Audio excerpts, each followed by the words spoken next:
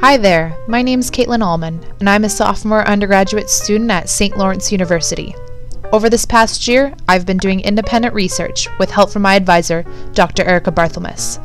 Because my interests lie in applied animal behavior, ecology, and dogs, I've decided to learn more about a unique non invasive sampling method for animals, in which dogs are trained to become conservation canines, also known as scat detection dogs. In the field of conservation biology, interesting and often endangered animal species are monitored in their natural habitats.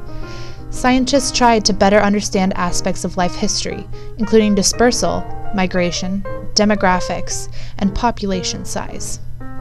When conservation biologists are studying the animal's habitat, they often use non invasive sampling methods for cues, including following tracks, using remote cameras, and assessing antler hair from deer rubs.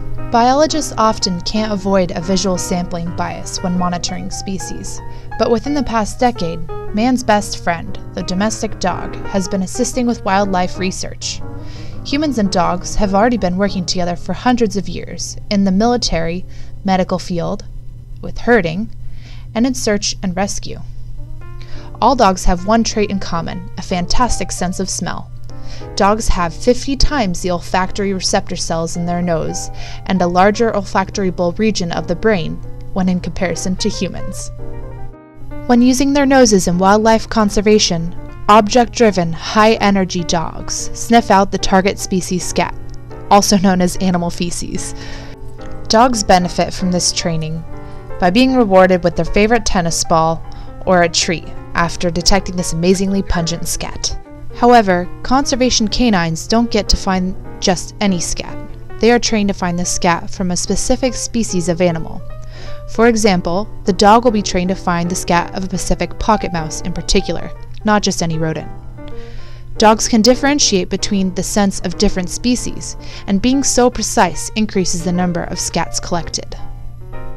When a handler, scat detection dog, and a guide, who's usually called an orienteer, set out in the woods, the dog searches for the scat of the target species and sits to notify the handler of the scat. The scat is then collected for or by a researcher who can perform many tests on the scat, including DNA, hormonal, or a dietary analysis. Several organizations in the United States train conservation canines, most of which are in the Pacific Northwest. These organizations include the University of Washington Center for Conservation Biology in Eatonville, Washington, Working Dogs for Conservation in Three Forks, Montana, and Pack Leader Dog Training, based out of Gig Harbor, Washington. For several months, and with lots of assistance from a few UW conservation biology handlers, I trained a four year old black Labrador retriever named Tulip to become a conservation canine. She has been trained to detect porcupine scat in the forests of northern New York. Porcupines usually defecate from the trees they rest in, or in seasonal dens. Though these mammals are fairly habitual about where they defecate, with Tulip at my side, I hope to find scat that isn't visible to the human eye.